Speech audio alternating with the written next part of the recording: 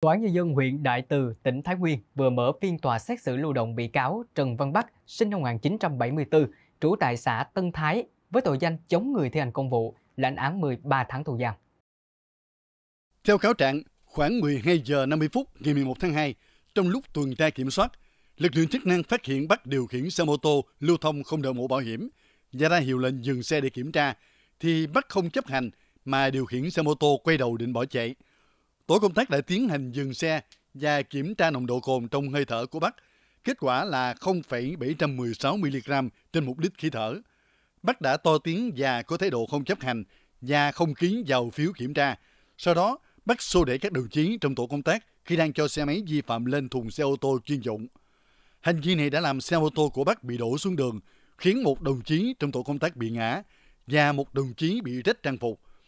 Ngoài ra, Bắc còn có các hành vi vi phạm khác gồm không có giấy phép lái xe, không đem theo giấy đăng ký xe mô tô, xe máy, không có giấy chứng nhận bảo hiểm bắt buộc trách nhiệm dân sự, điều khiển xe khi trong cơ thể có chất ma túy.